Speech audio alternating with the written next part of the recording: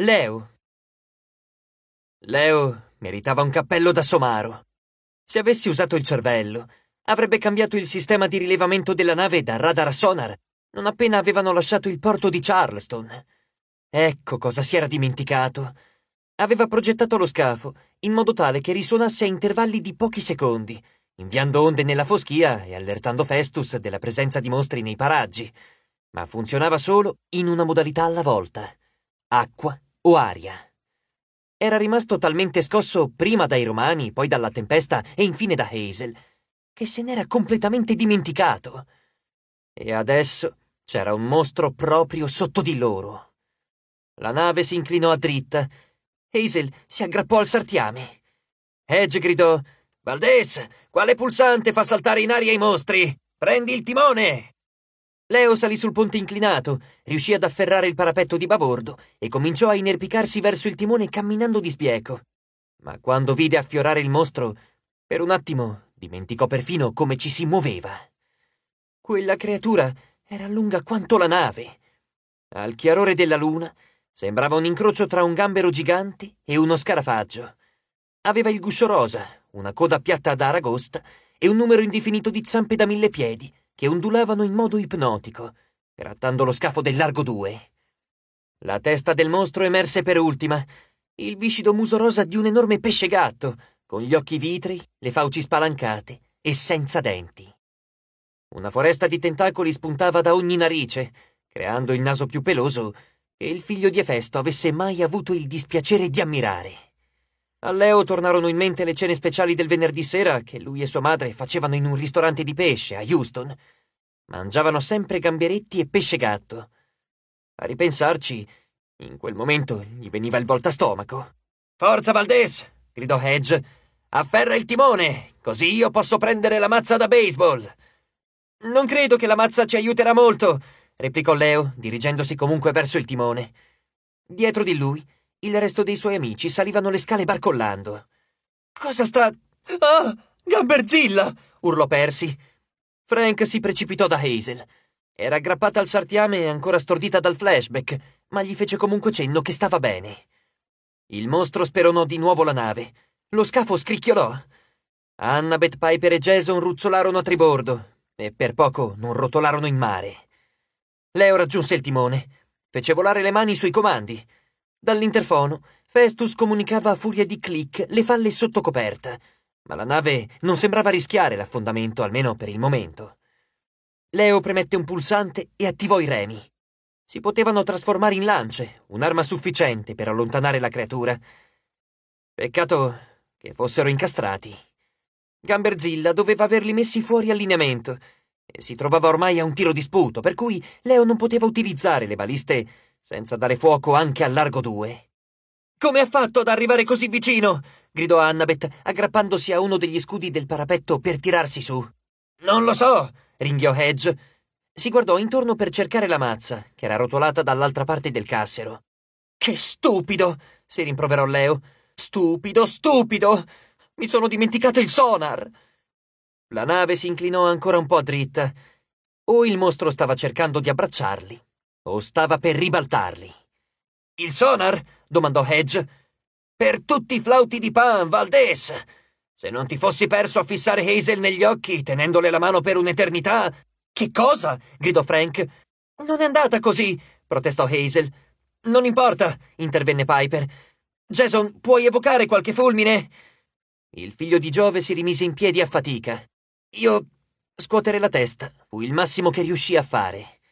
Il temporale di prima lo aveva esaurito. Leo dubitò che potesse far scoppiare la candela di un motore nelle condizioni in cui si trovava. Percy! esclamò Annabeth. Puoi parlare con quel coso? Hai idea di cosa sia? Il figlio di Poseidone scosse la testa, evidentemente sconcertato. Forse è solo curioso della nave. Forse. I tentacoli del mostro menarono una sferzata così improvvisa sul ponte che Leo non ebbe nemmeno il tempo di gridare Attenti! Un tentacolo colpì Percy sul petto e lo spedì a schiantarsi lungo le scale. Un altro si attorcigliò intorno alle gambe di Piper e la trascinò tra le urla verso il parapetto. Dozzine di altri tentacoli si arrotolarono intorno agli alberi, circondando le balestre, e tirando giù il sartiame. All'attacco dei peli del naso! Edge afferrò la mazza e si lanciò in azione, ma i suoi colpi rimbalzavano sui tentacoli senza provocare danni. Jason sguainò la spada. Tentò di liberare Piper, ma era ancora debole. La lama d'oro affondava senza fatica nei tentacoli, ma prima che riuscisse a tagliarli, altri prendevano il loro posto. Annabeth sfoderò il pugnale. Si lanciò nella foresta di tentacoli, schivando e colpendo qualsiasi bersaglio trovasse sul proprio cammino.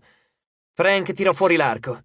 Sparò delle frecce oltre il fianco del largo 2 sul corpo del mostro, piantandole nelle fessure del guscio, con il solo risultato di irritare la bestia, che mugghiò e fece oscillare la nave. L'albero scricchiolò, come se stesse per spezzarsi. Avevano bisogno di maggiore potenza di fuoco, ma non potevano utilizzare le baliste. Dovevano sferrare un colpo che non avrebbe distrutto la nave. Ma come?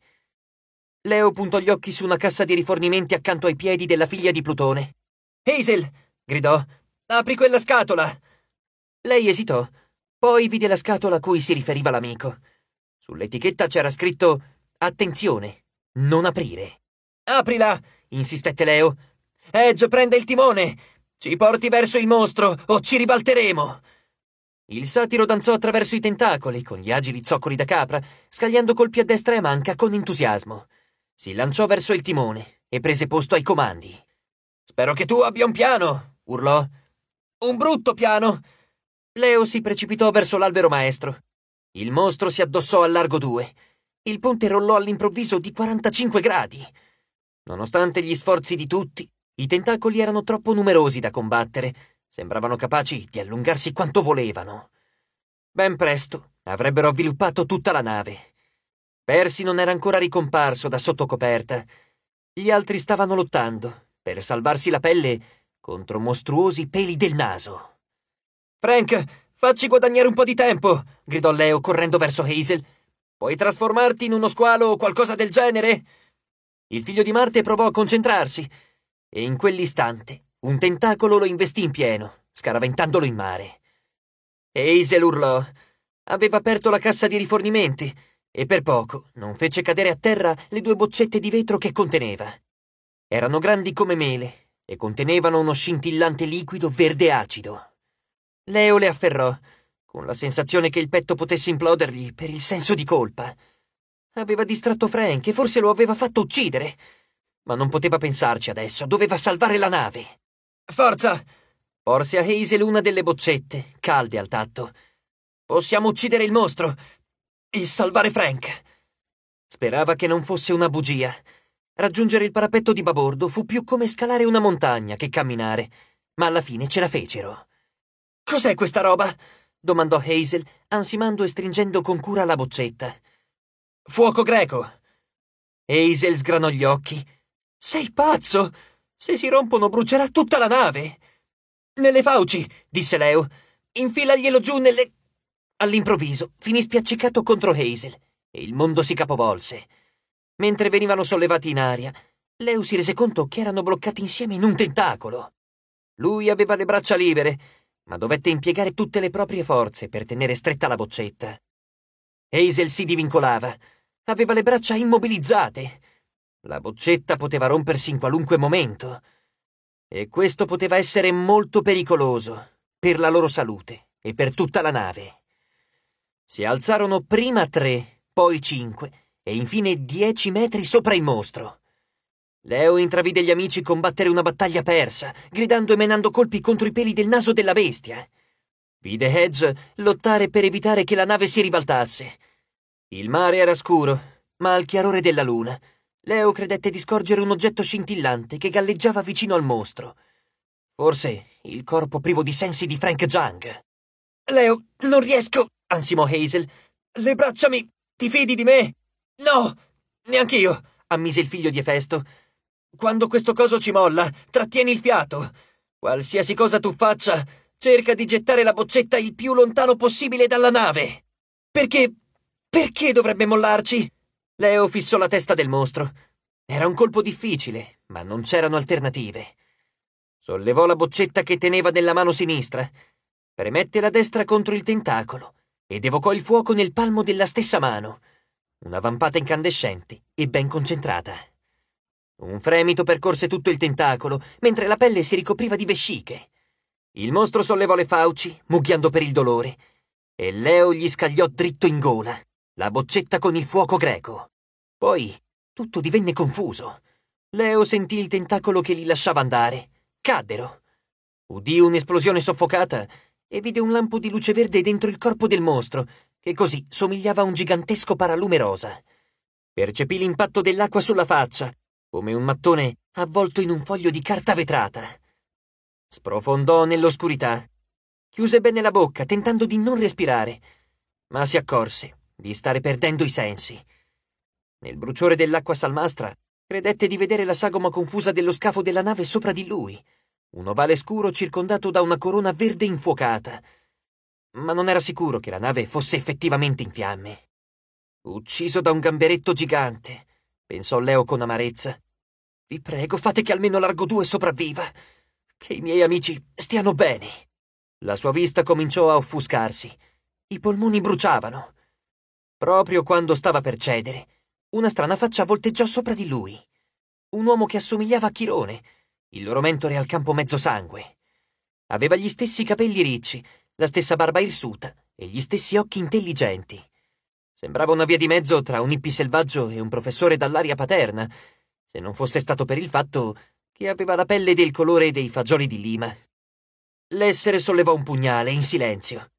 Aveva un'espressione cupa, di rimprovero, come a dire Fermo, o non riesco a ucciderti per bene.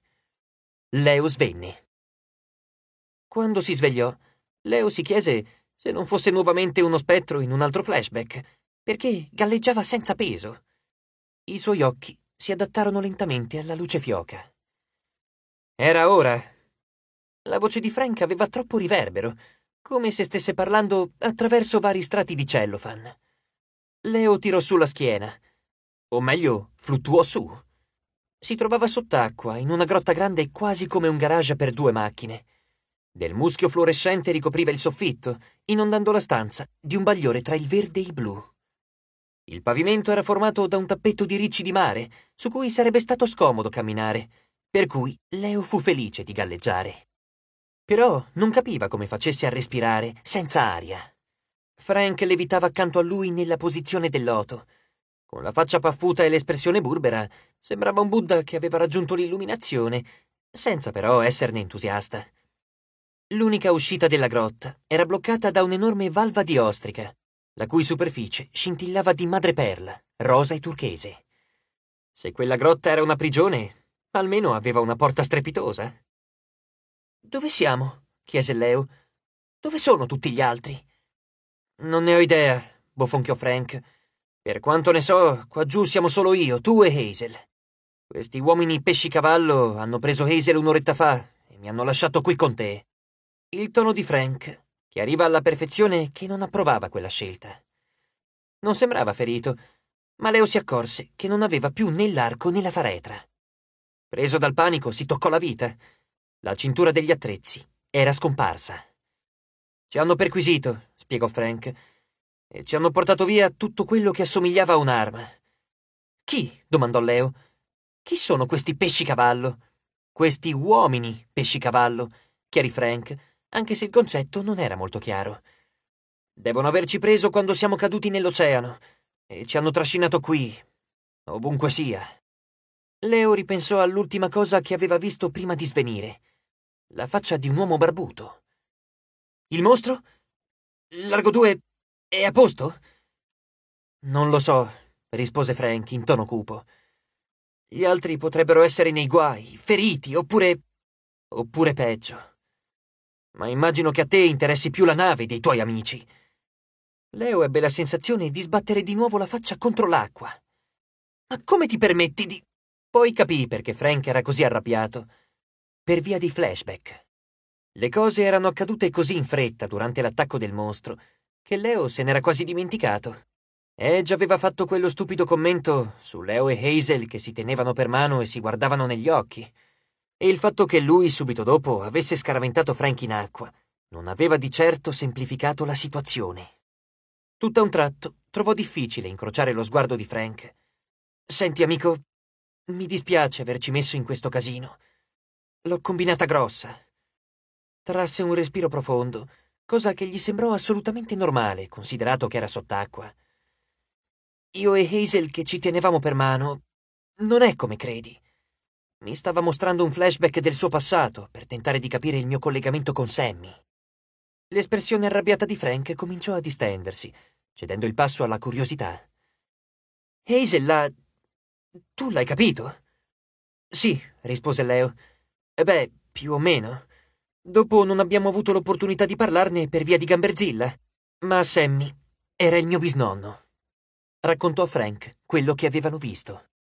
Non aveva ancora capito fino in fondo la stranezza della faccenda, ma in quel momento, tentando di spiegarla ad alta voce, Leo faceva fatica a crederci. Hazel era stata innamorata del suo bisabuelo, un uomo che era morto quando lui era un neonato. Leo ricordava vagamente di alcuni membri più anziani della famiglia che chiamavano Sammy Junior il nonno. Quindi Sammy Senior era Sammy, il bisabuelo di Leo.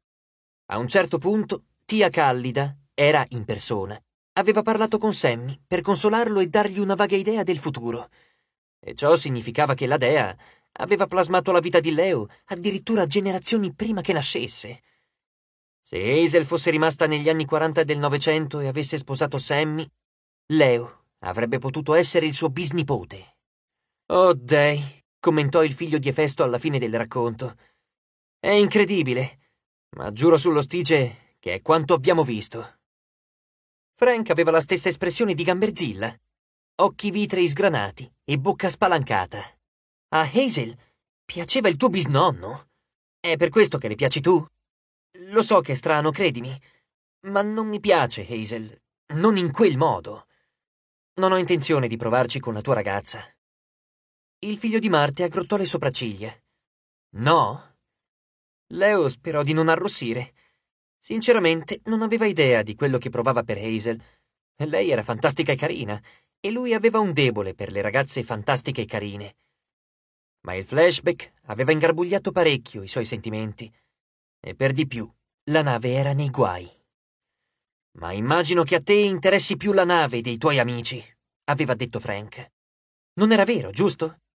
Il padre di Leo, Efesto, una volta aveva ammesso che non era bravo con le forme di vita organica. E sì, certo, Leo si era sempre sentito più a suo agio con le macchine che con le persone.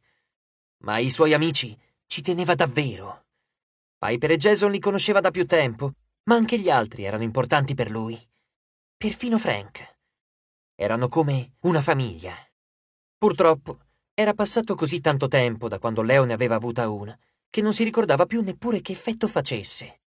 Certo, l'inverno precedente era stato nominato capogruppo della casa di Efesto, ma aveva trascorso quasi tutto il tempo a costruire la nave.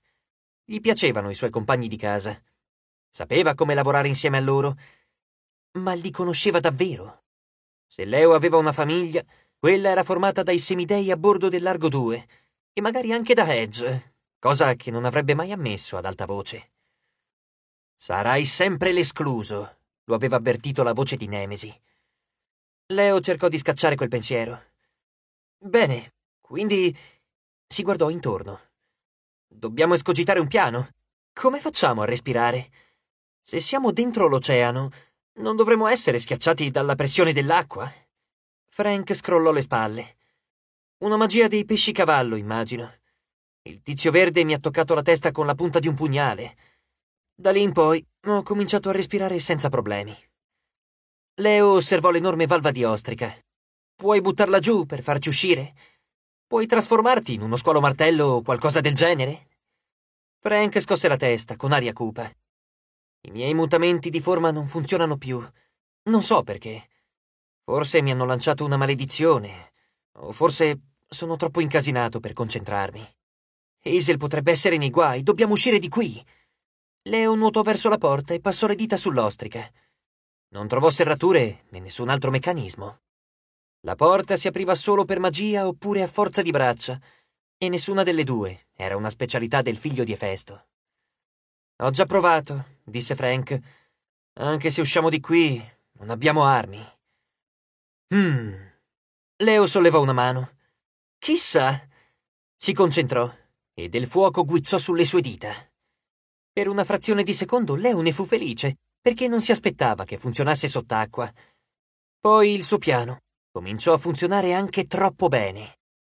Il fuoco gli salì lungo il braccio e su tutto il corpo, finché lui non fu completamente rivestito da un sottile strato di fiamme. Tentò di respirare, ma inalava calore puro. Leo! Frank agitò le braccia all'indietro come se cadesse da uno sgabello. Invece di precipitarsi ad aiutare il compagno, abbracciò il muro per allontanarsi il più possibile. Leo si impose di mantenere la calma. Capì la situazione. Il fuoco di per sé non poteva fargli male. Ordinò alle fiamme di spegnersi e contò fino a cinque. Trasse un respiro corto. Inalò di nuovo ossigeno. Frank smise di tentare di fondersi con il muro della grotta. Stai. stai bene? Sì, bofonchiò Leo. Grazie per l'aiuto. Mi. mi dispiace. Frank sembrava così terrorizzato e pieno di vergogna che per Leo fu difficile avercela con lui. Ho solo. Cos'è successo? Una magia bella e buona, rispose il figlio di Efesto. C'è uno strato sottile di ossigeno intorno a noi, come una seconda pelle, e si rigenera da solo. È per questo che respiriamo e restiamo asciutti. L'ossigeno ha alimentato il fuoco. Peccato che il fuoco mi abbia anche soffocato. A me davvero non. Frank trattenne il fiato. Non mi piace il modo in cui evochi il fuoco. Cominciò ad addossarsi di nuovo al muro. Leo non voleva, ma non poté fare a meno di sorridere. Ehi, amico, non ho intenzione di attaccarti. Fuoco, ripeté Frank, come se quella parola spiegasse tutto. Leo si ricordò quello che gli aveva detto Hazel.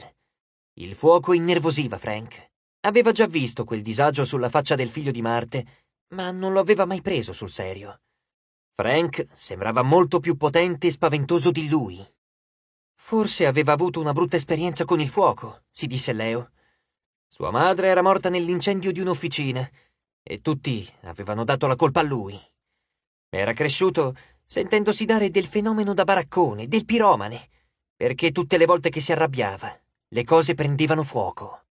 Scusa se ho riso, disse, e lo pensava davvero. Mia madre è morta in un incendio.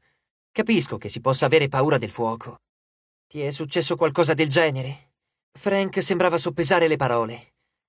Casa mia. La casa di mia nonna. È stata distrutta da un incendio. Ma c'è dell'altro. Fissò i ricci di mare sul pavimento. Annabeth mi ha detto che potevo fidarmi dell'equipaggio. Perfino di te. Perfino di me, eh? Leo si domandò come fosse saltato fuori quel discorso. Cavoli, sono commosso. Il mio punto debole, cominciò Frank, come se le parole gli tagliassero la bocca. C'è questo pezzetto di legno bruciato. La valva di ostrica si mosse. Leo si girò e si ritrovò faccia a faccia con l'uomo barbuto, che in realtà non era affatto un uomo. Era di gran lunga la creatura più strana che avesse mai incontrato. Dalla vita in su era più o meno umano, un individuo magro, a torso nudo, con un pugnale infilato nella cintura e una fascia di conchiglie, portata a tracolla come una bandoliera. Aveva la pelle verde, la barba castana incolta e i capelli piuttosto lunghi, tenuti all'indietro da una bandana di alghe marine.